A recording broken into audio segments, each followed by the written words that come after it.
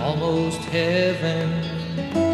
West Virginia, Blue Ridge Mountains, Shenandoah River. Life is old there